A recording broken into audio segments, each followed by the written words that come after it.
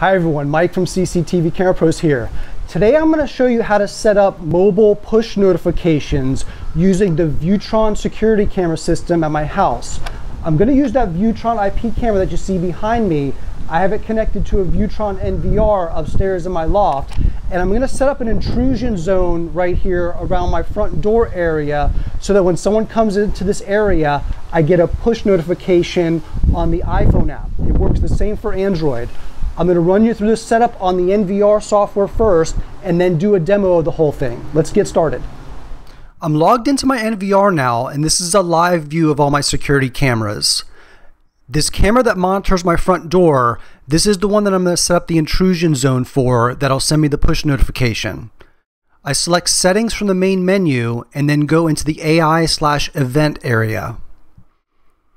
From here, I'm going to select people vehicle detection and then the front door camera is already selected and the type of alarm I'm setting up is intrusion. First thing I do is check this enable detection by IP camera box and then I can draw the intrusion zone uh, and I'm using the mouse that's connected to the NVR uh, just by pointing and clicking and connecting these dots. So there's my intrusion zone and I'm going to hit apply and then next I click on this trigger mode tab and then I want to make sure that push is checked and I also check uh, snapshot and click apply.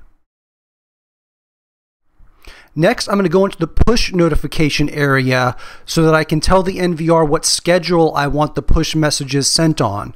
First thing is I enable push notifications here and then you can see you can set up there's some default schedules like 24/7 weekdays weekends and then you can set up custom schedules as well.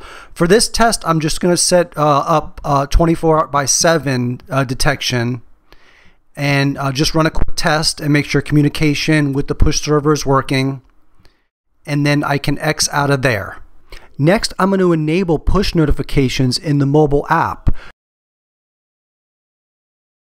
To do this, I tap on the configuration icon in the upper left and then select push setting. By default, all these will be unsubscribed or turned off. Uh, the home remote is the device I'm using, and this is the state you'll most likely find yours in by default.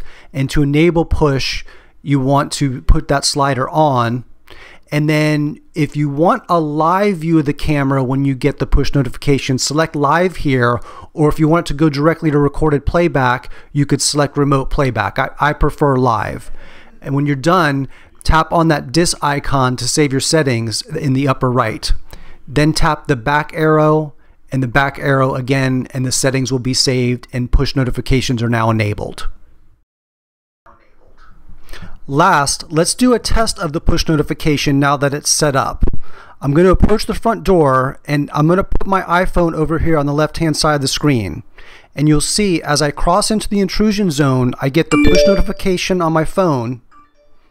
And then when I tap on the push message, it opens up the app in the live security camera view, just as we configured it. And there we go, test well done.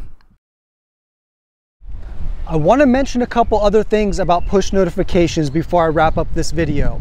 Uh, first of all, that was a 4K IP camera at my front door that I was using, uh, traditional IP camera, not AI.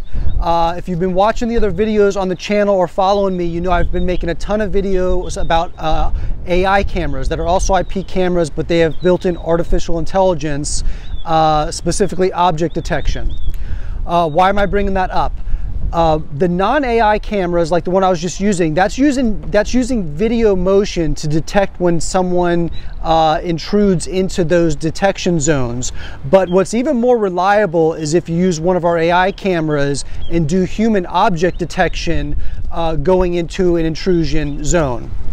Also, in addition to intrusion detection, you can use any of the alarms built into these Viewtron systems uh, for, for triggering a push notification. Uh, for example, if you want to set up an external alarm sensor using the alarm inputs on the DVR, for example, a passive infrared motion detector or a window or door sensor, you can use the alarm inputs on the DVR to also trigger alarms, uh, one of which type could be a push notification like we just did. Uh, I'll be making more videos about this. It's, it's a lot to cover. These Viewtron systems uh, have a ton of features built in and also the DVRs with the BNC cameras, you can configure push notifications on those as well. Also directly from IP cameras if you're not using a recorder.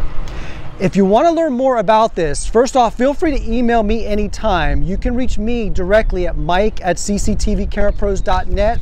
If you want to learn more specifically about push notifications with these Viewtron systems, please visit www.cctvcamerapros.com slash push. Thank you for watching.